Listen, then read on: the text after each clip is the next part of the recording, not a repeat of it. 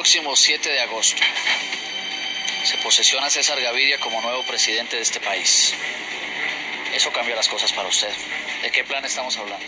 Terror nuevamente se apodera de las calles del país. Παρασκευή στις 9 το βράδυ. Μη, χάσετε συναρπαστικό διπλό επεισόδιο στο Star.